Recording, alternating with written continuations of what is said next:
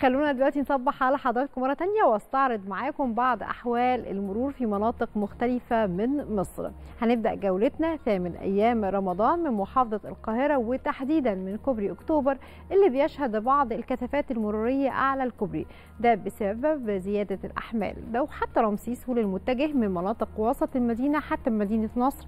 الطريق كمان بيشهد كثافة مرورية أيضا. هنروح شارع رمسيس اللي بيشهد كثافات مرورية. هتبدأ تقل لحد ما نوصل لغمرة. لكن بالنسبة لكوبري 15 مايو المتجه للمهندسين عليه كثافات مرورية. بالنسبة لشارع بورسعيد من نزلة كوبري أكتوبر بيشهد سيولة مرورية لحد منطقة الزاوية الحمراء. في كثافات نسبية عند الوايلي ولحد كوبري الساحل والأميرية والكورنيش من المظلات إلى وسط البلد. في كمان كثافات مرورية بسيطة ومتقطعة. مكملين معاكم جولتنا ونروح الجيزة. الطريق الدائري بيشهد سيولة مرية ما عدا بعض الكثافات عند النزلات. بالنسبة لمحور 26 يوليو المتجه لأكتوبر بيشهد سيولة مرية لكن المتجه للمهندسين في بعض الكثافات قبل طلعة الدائري وميدان لبنان لحد نادي الزمالك.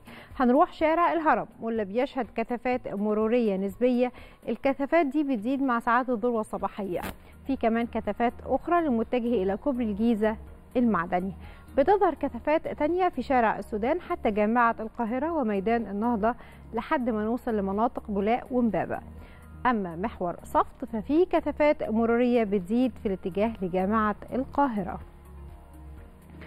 هنروح معاكم لمحافظة الأسكندرية. في كثافات مرورية عند كوبري ستانلي وعلى طول الكورنيش. في كثافات متفاوتة عند الإشارات ده بطول الكورنيش. أما باقي الشوارع الجانبية فيها سيولة مرية نسبية. شارع جمال عبد الناصر. فيه كثافات مرية عند تقاطعه مع محور محمد نجيب.